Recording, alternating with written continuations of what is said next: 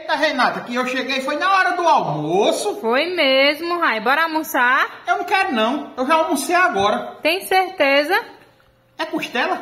Oxente, como é que tu sabe? Eu senti o cheiro lá de fora. Ih, foi, bicho bonito. E parece que tá boa, viu? Tá boa, visquez um pouquinho. Bota só um pouquinho pra não fazer desfeita. Pronto, vou botar um pouquinho de cuscuz, viu? Bota um pouquinho a mais, bota, bota mais. Mais? Macarrão, arroz.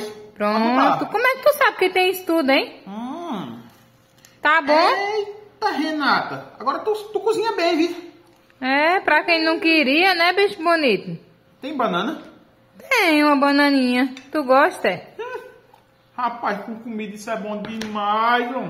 Hum, e é porque já tinha almoçado, Não né? tem suquinho não pra não descer entalando. Eita, tu não tá com fastio, não? É de manga? Com certeza. Tu só chega nas horas boas, né, bicho bonito? E é porque eu almocei, viu? Imagina se não tivesse almoçado, né? Hum?